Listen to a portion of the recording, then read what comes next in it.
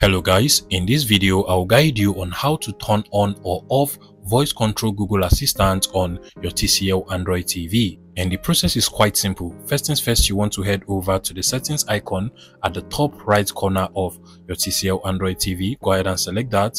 And then from the settings, you want to scroll down to the device preferences option. Select that as well. Now scroll down until you get to Google Assistant, go ahead and select that. And once you're here, you just want to press on the OK or select button to turn on or turn off the voice control Google Assistant on your TCL Android TV. Mine currently is turned off, so I'll just press on it to turn it on.